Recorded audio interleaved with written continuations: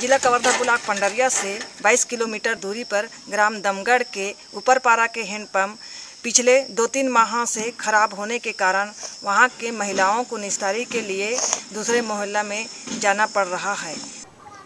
इस वीडियो को एक माह पहले बनाई गई थी और गाँव के लोगों के साथ पीएचई अधिकारी पंडरिया गए थे और खराब हैंडपम्प सुधरवाने के संबंध में बात किए।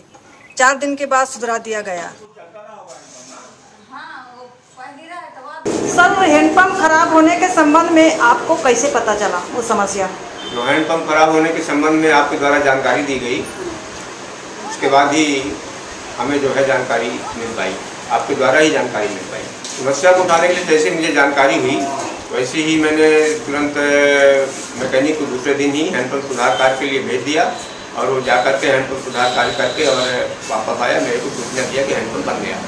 ऐसा ही आपकी मदद करूँगा और जब भी ऐसी समस्या हो, आप हमें जो है इन्फॉर्म करिए, सूचना दीजिए और मैं तुरंत ही हैंडपम्प सुधार कार्य करा दूँगा। भविष्य में कभी भी कोई दिक्कत नहीं बहुत अच्छा महसूस हो रहा है लोगों की समस्या, वो भी खासतौर से पेयजल संबंधी। समस्या दूर करने में बहुत ही अच्छा लग रहा है और बहुत अच्छा महसूस हो रहा है।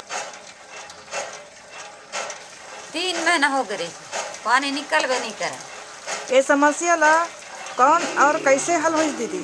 मैं थक गए मोर लड़का ला भेज देखा ऑफ़िस में, अंगूठा दस्तखत करके आए तब नहीं आए कह के तोर मेर आया दीदी तब फिर वीडियो बनाया लिख के तब फिर ऑफ़िस गए तो फिर बाबू ला बोले न वहाँ के तब फिर भेजिस भाई।